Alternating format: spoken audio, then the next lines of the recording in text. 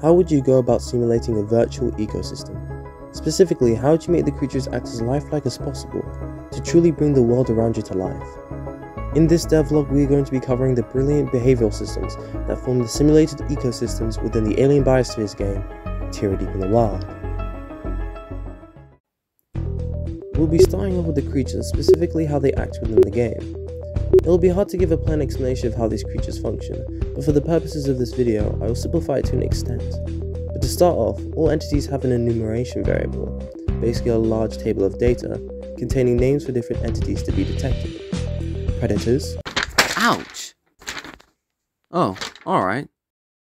Well, first off, the entity types that can be assigned are threat, prey, parent, offspring, rival, mate, and other. A good thing to note is that the creature itself does not have an entity type assigned to it. The assigning happens within the actor, basically within the entity's brain, doing the detecting, and on the one that's getting detected, except for parents, which is assigned on the offspring actors. Parent containing an array of parent actors that exist for the offspring actors. Offspring. The detected actor is assigned this only if a reference to itself exists in the parent's array. Theoretically, an actor can have as many parents as the array variable allows for. Rival. Assigned to detect if an entity is a possible rival, only if the entity is the same species and same sex, and in the array of detected rivals on the detector actor. Mate assigned when detecting possible actors as mates, if the actor is of the same species and opposite sex. Threat adds detected actors to an array of detected threats, if the detected actor ID exists in a list of possible threats. Prey adds a detected actor to an array of detected prey, only if the detected actor's ID exists in a list of prey. Other includes the sounds of unknown origin, detected actor is assigned as other if no other criteria is met. Also, it's good to note that the entity types can be changed at runtime on a per individual basis. For example, if attacked by a creature assigned as other, it can be changed to threat. The response types can also be changed the same way. For example, if a species has the entity response set to rival and passive, when mating season is enabled, the response can be changed to rival, aggressive. Same goes for mates. If response is set to passive, ignore. Aggressive or anything else, it changes to courtship. If courtship is always enabled, the creatures will always try to mate with each other.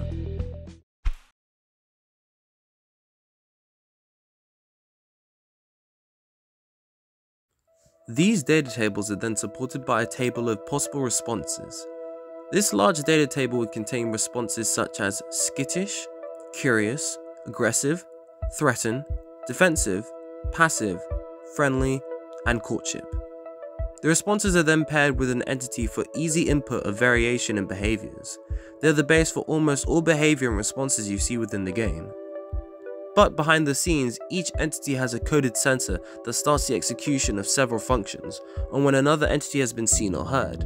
When something is detected, a signal is sent to the detected entity that asks for its required data, such as its size, species, base threat level, sex, age, and entity type. For sounds that from a previously undetected source, the other entity value is used.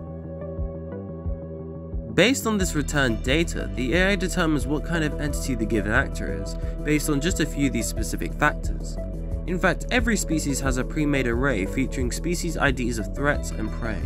Imagine that you have a small local bestiary, where local creature data is stored. Now, if included in a given array, the entity for the detected creature is given an appropriate entity value. In case the creature has a higher value in size and or threat values, aggression, they might get changed to threat even though the ID exists in the prey array. This is of course to simulate an expected reaction, like if a powerful and strong herbivore such as a rhino on Earth suddenly appeared near a group of gazelles, the gazelles would run regardless, since rhinos are still massive and can be a threat, so the prey would recognize in their array as a threat. Same goes here. Now it's also key to mention that the database also includes a list of offspring and parents, which is used to determine those entities too. To visualize it logically, here's an approximation of the code. If target entity offspring array contains self, set entity type to parent. Same goes for entity types mate and rival. If entity species equals own sex and target entity sex equals own sex, set entity type to rival. Else, set entity type to mate. What this ultimately represents is just how the parents and children exist within the system, along with the programmed aggression against entities labeled as rivals, and programmed recognition of any creatures that would be suitable mates. Any actor detected that does not get assigned an entity type based on the previous statements will be given the type Other. After the entity type has been determined, the creature selects a response based on the response enum value given in the data table. Example, threat, aggressive. If an entity is regarded as a threat, use the aggressive response. Aggressive responses feature different functions depending on some factors like health and species aggressiveness. If health is below a certain percent and aggressiveness is lower than 80%, the target will be ignored or even cause the creature to run away depending on the target's threat level.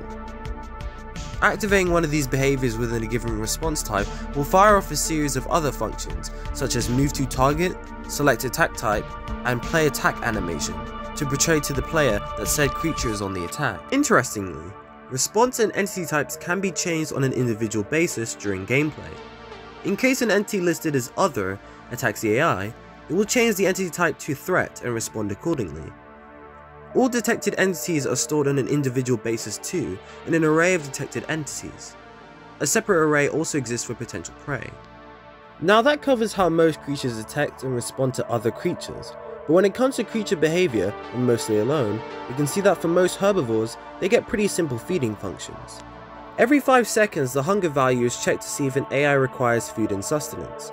A herbivore will check if standing on grass, and if true, play the feeding animation. Pretty simple and straightforward. However, for carnivores, when hungry they will check an array of detected prey to find the closest prey available, and then initiate attack functions alongside the run function. Escaping AI responds by finding a random location from a certain distance to a threat in the opposite direction.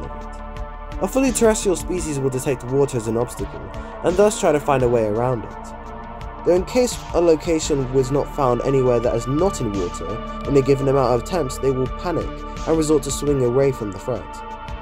That summarizes the basic behavioral systems in Tira Deep in the Wild. There is way way more to talk about when it comes to the possible extra responses when it comes to the AI, but this video is getting much longer than I expected. But I will say I've been an awe and inspiration of the work of our main developer Burpopo, and I also thank our fellow dev members for their casual help as well especially our supporting 3D modeler, who's made this amazing render of this sus rock. In the next devlog, we'll be covering the progress and fate of our other projects alongside a more general progress summary for Tira Deep in the Wild. And hey, remember, please make sure to subscribe. It really helps the channel out, and together we can make an empire of Tira gamers. A final note is that this channel will be having a bit of a hiatus, you could say.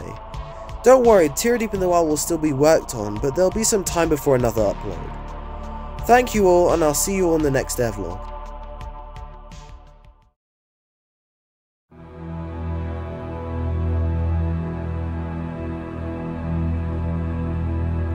He is the Ascended